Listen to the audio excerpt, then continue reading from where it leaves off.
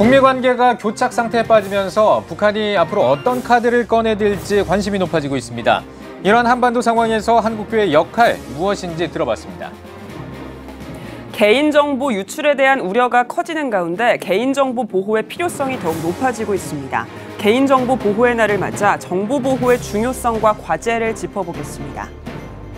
미국의 유명한 요리사이자 방송 호스트인 셰프 토니가 우리나라를 찾았습니다.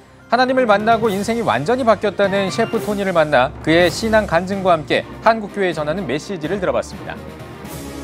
구세군 한국 군국이 26대 사령관으로 장만희 서기 장관을 임명했습니다. 사령관 취임 예배는 오는 2월 6일에 개최됩니다.